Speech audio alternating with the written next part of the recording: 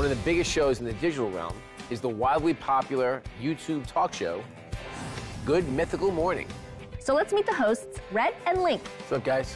Hey. Hi. For those of you who don't know us, we are basically the Bobby and Giada of the internet.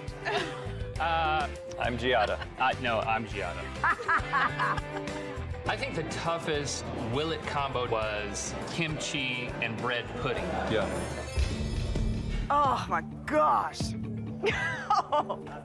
Kimchi, will it? bread pudding. Our criteria is going to be more about the performance. Bobby and Giada, they know food. We don't. But you can you still have a, a I have a mouth. You have a mouth with a I can- tongue and a it brain tastes- that's connected. Well, that, that's, that's debatable. Unlike what we do on our show, where uh, often things do not work, the majority of these things did actually work. Well, octopus mac and cheese. yes. I'm saying yeah, definitely. I now know that sardines in a quesadilla is not a stupid idea. It's a palatable idea. I feel like for someone who likes sardines, this would be their jam. You're like, "Dude, make me one of them sardine quesadillas, Aaron.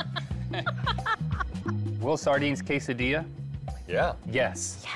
It was a credit to the contestants. At the same time, we've eaten dirt on a pizza. That's true. And I don't think they could have done that any better than we did ourselves. Freestyle rap. Yeah, you know who you are. You're a couple of dudes that were just on Food Network Star.